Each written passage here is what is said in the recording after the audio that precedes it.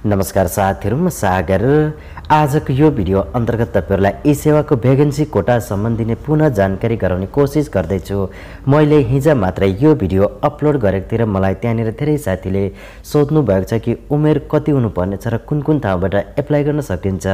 आजको यो भिडियो अन्तर्गत तपाईँलाई यसै विषयवस्तुमा रहेर सम्पूर्ण जानकारी गराउने कोसिस गर्नेछु। यदि तपाईँले यी सेवाको नयाँ भ्याकेन्सीको बारेमा थप जानकारी चाहनुहुन्छ कृपया भिडियो पुरा हेर्नुहोला।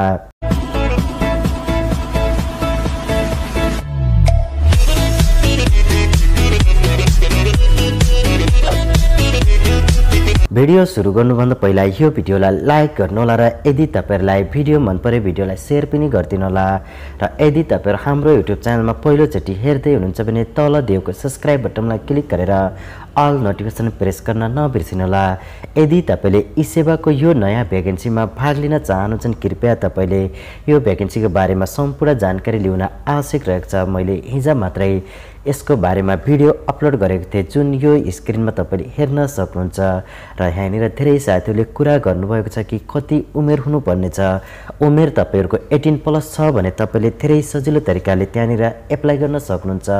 एप्लाई गर्नको लागि तपाईँको योग्यताको कुरा गर्नुपर्दा कमसेकम तपाईँको एसएलसी पास भनिएको छ।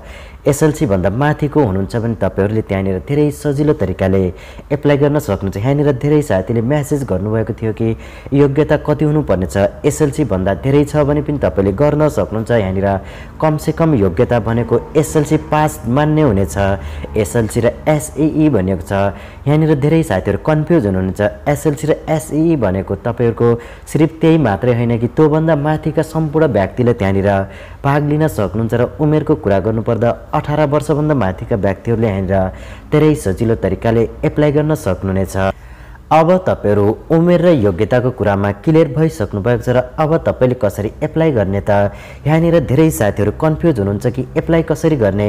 एप्लाई गर्नको लागि यो इमेल एड्रेसमा तपाईँले इमेल गर्नुपर्ने छ। इमेल गर्दा तपाईँको आफ्नो बायोडाटा सहित तपाईँले त्यहाँनिर इमेल गर्नुपर्ने छ। यहाँनिर क्लियर रूपमा पनि लेखिएको छ र तपाईँलाई यो इमेल एड्रेस मैले भिडियोको बक्समा पनि प्रोभाइड गरेको छु। यदि तपाईँले यसको बारेमा थप जानकारी चाहनुहुन्छ भने स्क्रिनमा दिएको नम्बर या भिडियोको बक्समा दिएको नम्बरमा कल गर्न सक्नुहुन्छ र तपाईँले यो भ्याकेन्सीको बारेमा थप जानकारी पनि ल्याउन सक्नुहुनेछ। र धेरै साथीहरूले अब सोध्ने गर्नुहुन्छ कि लोकेसन म यहाँको हो र मैले यसमा भाग लिन सक्छु कि सक्दैन? तपाईँ कहाँको हुनुहुन्छ र यो भ्याकेन्सी कहाँको छ? यसको कुनै पनि माइने हुँदैन। तपाईँहरू कहीँको पनि हुनुहुन्छ? पुरै नेपालको कुनै पनि कुनाबाट तपाईँले अनलाइनबाट एप्लाई गर्न सक्नुहुन्छ र तपाईँ यदि सेलेक्ट हुनुहुन्छ भने तपाईँले जागिर गर्न सक्नुहुनेछ।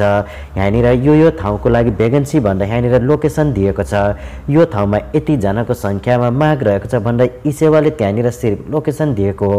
तपाईँ कुन ठाउँको हुनुहुन्छ र तपाईँले जब गर्न पाउनुहुन्छ कि हुन्न भन्ने बारेमा तपाईँले पहिला एप्लाई गर्नुहोस्। यदि तपाईँहरू सेलेक्ट हुनुहुन्छ भने तपाईँले धेरै सजिलो तरिकाले जब गर्न सक्नुहुन्छ। अब तपाईँहरू यसको बारेमा यदि थप जानकारी चाहनुहुन्छ भने कृपया भिडियोको डिस्क्रिप्सन बक्समा दिएको कन्ट्याक्ट नम्बरमै कल गरेर बुझ्न सक्नुहुन्छ या तपाईँले तल दिएको कमेन्ट बक्समा पनि कमेन्ट गर्न सक्नुहुनेछ।